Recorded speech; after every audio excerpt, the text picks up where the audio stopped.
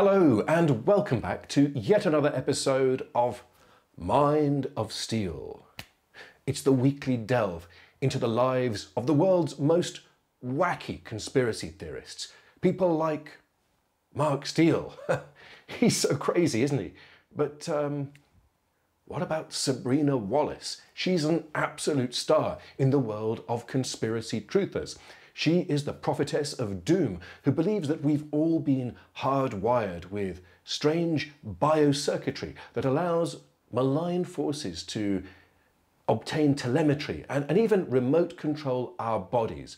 She believes that she and many of her fans are targeted individuals who are victims of some kind of state apparatus, who have malign interests on our own bodies, it's bizarre, it's out there, but that's what she really believes. And the great thing about Sabrina is she is always vocally angry about something, which makes for great viewing. And today, once again, she is angry with me because I recently made a show called Sabrina Wallace Can't Read. Sabrina, for some reason, took great exception to that. But let's allow her to have the right of reply. Sabrina will explain why I am wrong and you should not be watching this show. So now we're going to deal with some legitimate espionage. This guy who plays stupid, looks stupid, his name on the YouTube is Mind of Steele. For those of you that don't know, you never heard of him, please don't go to this channel. Please do not support this guy. If you can hold back from pressing that skip button for just a few more seconds, Sabrina is going to explain precisely why you should not be watching this channel. And believe me, by the time you've heard what she has to say, you might feel sick to your guts about the awful truth behind Mind of Steele, the channel that you are watching now. This person is in the UK and he believes that, well, he believes a lot of things, but one of the things that he claims to believe is that Mark Steele and I have some sort of communication. That is not the case. I've never spoken to Mark Steele. I think it's important to correct Sabrina's factual error here. I've never once suggested that Mark Steele and Sabrina have been talking to each other. They don't need to talk to each other in order to influence each other because they are both people who make completely bonkers videos and post them on the internet. And it's quite obvious that they have been watching each other's videos. They have been influenced by each other's videos. And you can see that when one of them starts to repeat ideas that clearly originated with the other. The obvious inference is that Sabrina has been watching Mark's videos and Mark has been watching Sabrina's videos. They get their ideas by watching crazy things on the internet. So when Sabrina claims not to know who Mark Steele is or, or not really to know much about him, she protests a little bit too much because she knows just as much about Mark Steele as any of us do. In fact, the only thing I've ever heard of regarding Mark Steele was right here. I had never even heard of him until I saw my face pop up right here five months ago. Once again, this is a truly bizarre lapse of memory. Sabrina is claiming that the first time she became aware of Mark Steele was when she saw my video about her and Mark, entitled Mind of Sabrina, which is a truly bizarre claim because my video from about six months ago, when this channel had only 200 subscribers, well, it was a reaction video to a 10 minute video created by Sabrina in which she talks about nothing but Mark Steele. Sabrina, please allow me to jog your memory for a few seconds. This guy, this alleged conspiracy theorist, Ministry of Defense weapons person, I don't know who Mark Steele is, but I went and did a just basic looking. Mark Steele is theoretically, theoretically correct because the 2.4 LoRa has been in use the entire time with those RFIDs and putting them in people and then accessing people through natural radio frequency through the body. Sabrina has consistently claimed not to know who Mark Steele is, despite the fact that she's made quite a few videos in which she has cited his claims, repeated his audio in her video. she's obviously very familiar with Mark Steele. And she's also the same kind of nutter when it comes to making obviously false claims about wireless technology. Take this, she's talking about LoRa, which is a real radio system for low power, long range, low bandwidth communication. She's claiming that human bodies are somehow connected to the cloud using LoRa, which is bizarre in so many ways. First of all, LoRa is not an internet-based protocol. It's not the sort of thing you would connect anything directly to the cloud with. It is a low bandwidth protocol for sensors and sensor networks, but um, it's bizarre to suggest that it might be on 2.4 gigahertz.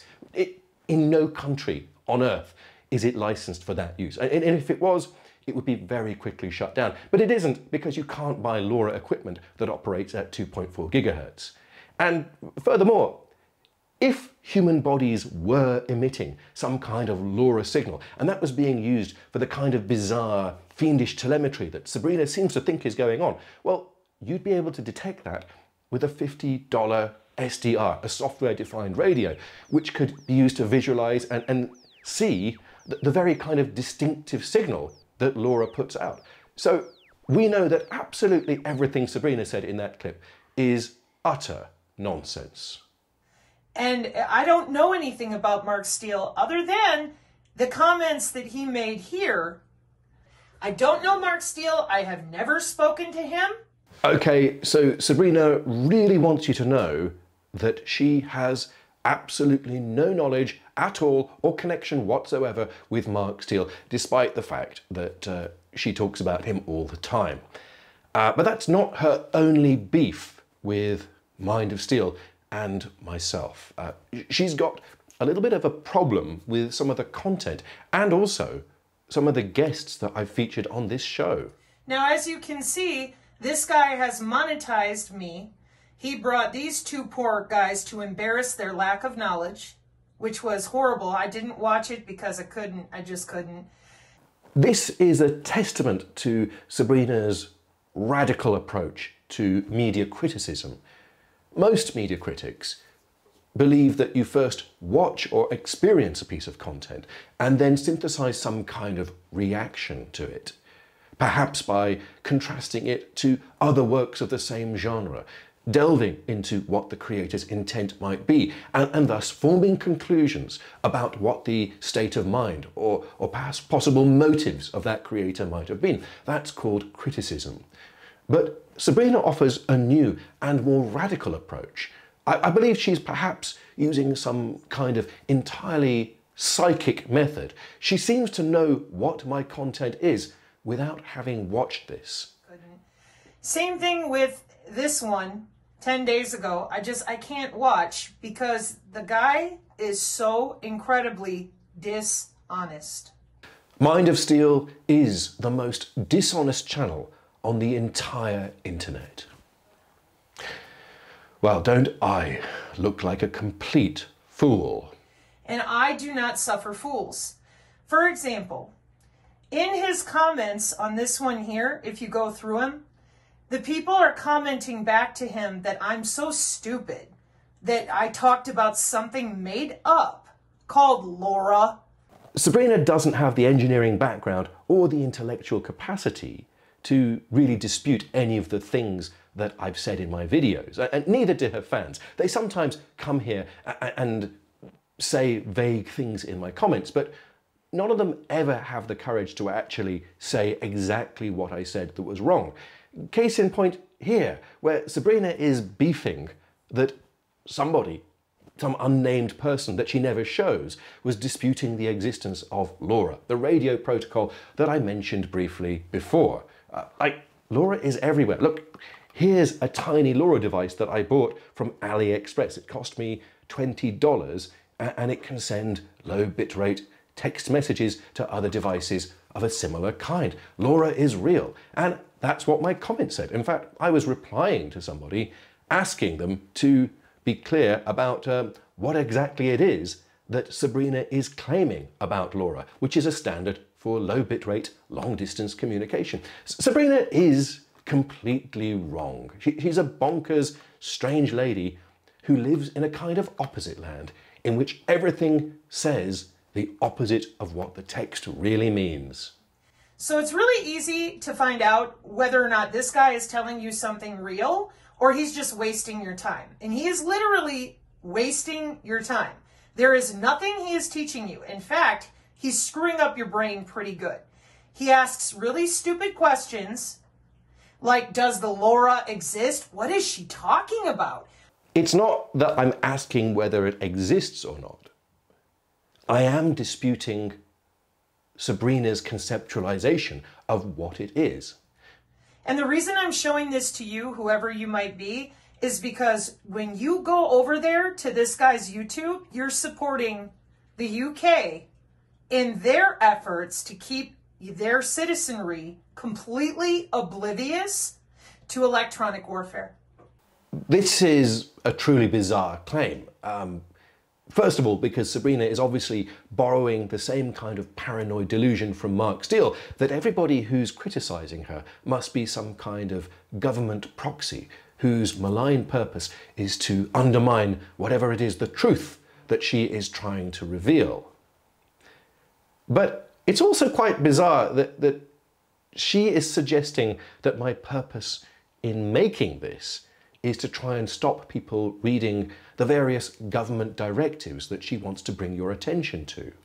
Well, no, because I now have far more subscribers on my channel than Sabrina Wallace does on any of hers.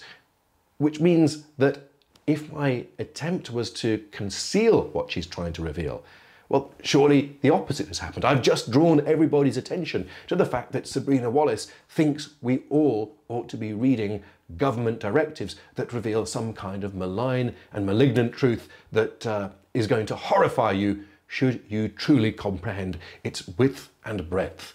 Well, none of that is remotely sensible.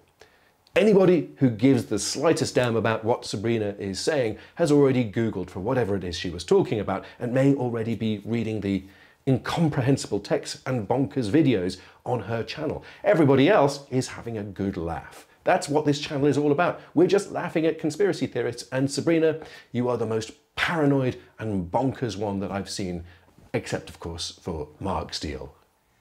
Um, we don't have time for this, and I'm not going to put up with it. I, I've already told everybody to stay off of this channel, stay away from it. But here's what else I'm going to say to you, London. Oh, in the event that you've hit my channel and you've seen this pile of filth, whoever this dude is, he absolutely is a psychological operation. How do we know for sure? Well, besides going through the actual JTRIG data and understanding why they put trash like this out here to keep you from learning about actual Pentagon directives. Department of Defense Directive 3009. Whatever you do, I don't want you to read Department of Defense Directive 3000.09, which was published in January of 2023. Because if you do read that, well, I'll be very cross, and presumably there's something about it that I don't want you to know. And I'm going to use my reverse psychology to manipulate you into not reading this document, because that's what I do. I'm here to stop you reading. I'm that kind of guy. I want you to be ignorant, foolish, stupefied. Perhaps, maybe just watch some more YouTube. Maybe a pop video or one of those five minute maker videos where somebody makes something completely implausible in five minutes. Yeah? Do that. Do anything but search for the information that Sabrina wants you to view. Because if you do that and it triggers you into a state of unease, well, you'll only have yourself to blame. Wouldn't it be better to be ignorant, just like I want you to be? Mm. Consider that while you get yourself a Pop Tart. So, I have been through this with a lot of different people in the two years I've been online, and most of them were Spookaboo State or whatever. But this guy is genuinely a douchebag who misleads people so you can't read. So it turns out that the real reason that Sabrina can't read, the reason why it is always opposite day in Sabrina land, is me. I'm the douchebag who stops everybody from reading by misleading them. Did it help you? No. Did you feel good making fun of the disabled woman? Does that make you feel good as a person, given that I barely survived with scars all over my body? Maybe I should be kinder to Sabrina. Is it fair that I spend most of my evenings making videos that are mocking people who are obvious imbeciles? It's not fair to mock the afflicted, and it's even less fair to mock victims of government research programs that leave people with uncanny psychic abilities. I am a modified child due to the Menninger Foundation experimentation for human augmentation. Sabrina really does believe that she gets her superpowers, the ability to perceive all of these things that are not known to others, because she is the product of some kind of super secret DARPA research project. Wow, what a bombshell. Mark 536, this does it. I won't be bringing this dude up ever again. I don't care what he does, because I'm hoping that this will now finish it off. Well, I think we can all agree that Sabrina has had the last laugh, and she who laughs last laughs longest. Sabrina must be uh, laughing quite heartily now that she has shown me to be the idiot that I obviously am. You remember at the beginning of this show, I revealed that Sabrina was telling us all not to watch Mind of Steele. And yet, you're still here. Uh, I bet you're feeling pretty damn silly having watched all of this nonsense for the last few minutes. And if you are, you might be regretting some of those life choices that have led you up to this exact minute. Just think of all the things you could have been doing. You, you could have been watching that five minute craft video. Perhaps you could have been throwing a, a, a blob of porcelain onto a spinning wheel and, and with your own manual dexterity turning it into a, a beautiful clay pot which you will fire in your kiln and then give to your grandmama. Perhaps also you could have been finishing off those nature watercolors that you have been so desperate to get back to, and, and yet you're still here. What are you doing, you, you, you idiots? Well, Sabrina has one last message for all of you who are regretting the time that you have wasted watching Mind of Steele, which, as we have now concluded, is the most idiotic program on the whole of YouTube. Now it's on you, the viewer. I've already answered it once four months ago. I'm not going to answer it again. If you go to this guy's channel, you're fucking up your brain and you're helping the Five Eyes run whatever it is they're doing with this pile of shit. Uh, yet another episode of Mind of Steele. But I've got some bad news for you. Let's start with your brain. Unfortunately, it is completely fucked up. Yep, it's scrambled. You are now completely illiterate because you've been exposed to me. And I'd like you to try this for yourself. Go to Google and search for Department of Defense Directive 3000.09. You will notice that all of the words on the screen now appear to be a sort of incomprehensible jumble. And yes, that's the effect that I have had on you. Now, if you thought that was bad, well, consider this. You are all now my accomplices because you watched this show in opposition to the instruction that Sabrina Wallace so clearly gave us right at the beginning.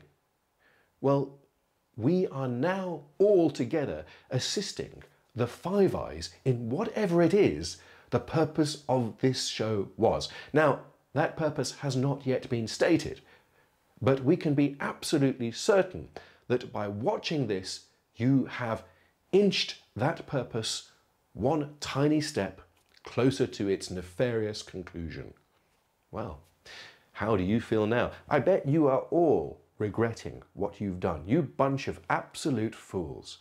You could have switched this off and, and watched anything else, but you chose to watch Mind of Steele, and I bet you regret it. Well, um, I hope you don't come back in a week's time to watch whatever nonsense I create, because if you do, you will truly be wasting your time, and that's the kind of thing that only an idiot would do. See you soon.